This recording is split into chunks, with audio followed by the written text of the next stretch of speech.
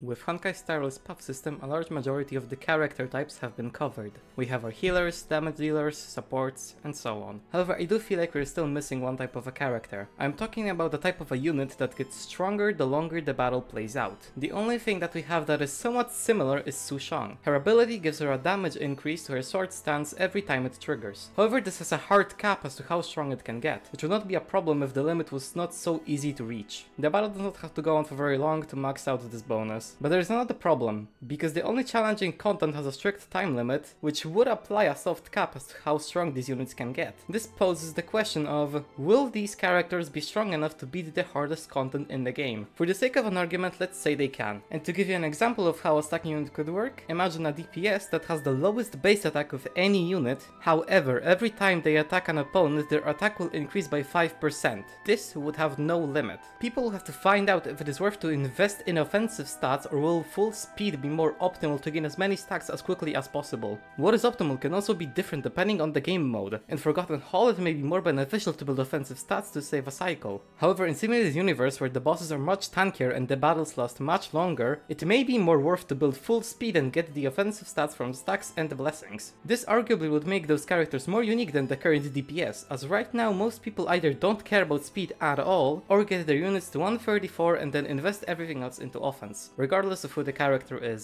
But if you had units that get stronger every time they act, this might encourage even the more casual side of the player base to experiment a little with their units to see what yields better results. Of course this is just one example, but the idea of a unit that keeps getting stronger in battle can be applied to any role. You could have healers, buffers or tanks that get stronger throughout the course of battle, which is why I think it is a missed opportunity. It is more than a one and done gimmick, and to be perfectly honest, I think we'll get a unit like this in the future. And Sushang's ability could have been just Hoyo testing the waters, and seeing how the community would react to a unit of this type. And yeah, I know this is a bit of a stretch. But regardless, let me know what you think about these types of units down in the comments below. I try to get one of those videos out every Friday, but until then, goodbye.